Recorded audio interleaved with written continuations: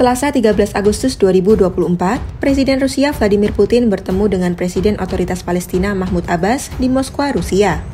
Dalam pertemuan itu, Putin mengatakan kepada Abbas bahwa Moskwa prihatin atas tewasnya warga sipil di Gaza.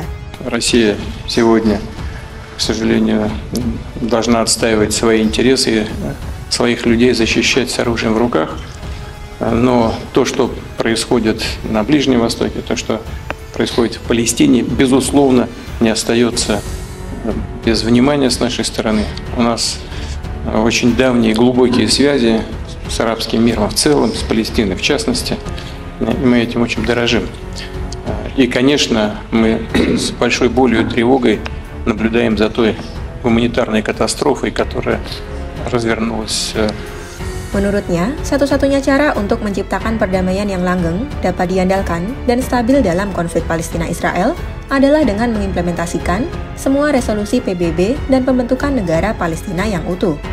является неизменной, она Э, сформулирована давно и не носит какого-то конъюнктурного характера. Мы полагаем, что для того, чтобы обеспечить длительный, надежный, стабильный мир в регионе, э, нужно выполнить все решения Организации Объединенных Наций и прежде всего создать полноценное э, палестинское государство. Di sisi lain, Mahmud Abbas merespon sangat pernyataan Putin dan menyatakan bahwa Rusia adalah satu-satunya sahabat terkasih rakyat Palestina. Kedua pemimpin tersebut kemudian membicarakan mengenai serangan akhir pekan lalu yang terjadi di sebuah gedung sekolah di Gaza dan menewaskan sedikitnya 93 orang termasuk 11 anak-anak.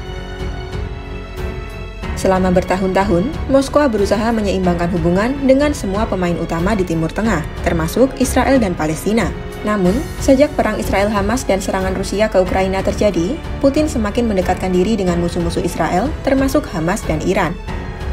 Sementara itu, Serangan militer Israel di Gaza dilaporkan telah menewaskan sedikitnya 39.929 warga.